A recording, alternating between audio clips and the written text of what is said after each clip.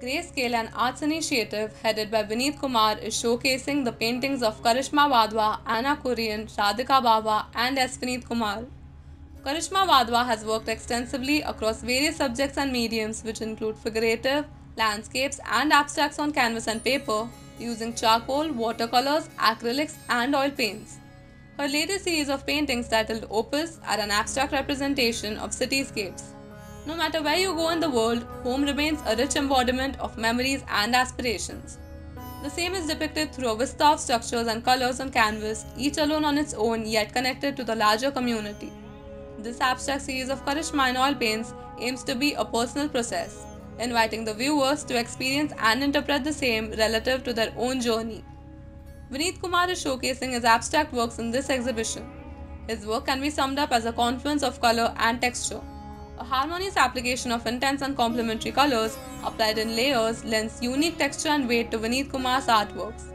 The vivid color palette and coarse texture in his work opens up possibilities of multiple readings of his artworks. The intermingling of color and texture gives a feel of the surface of individual components.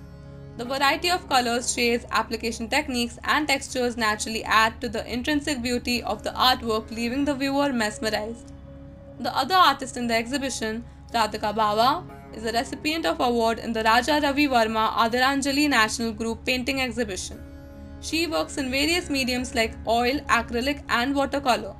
Rooftops is a recurring theme in Radhika's paintings, and her rooftops are monochromatic and without ornamental skyline. The rooftops normally seen from sky of a densely populated locality assumes different dimension when Radhika painted it to create a calming, peaceful feel of what otherwise is a crowded setting. Radhika Bava has participated in many exhibitions.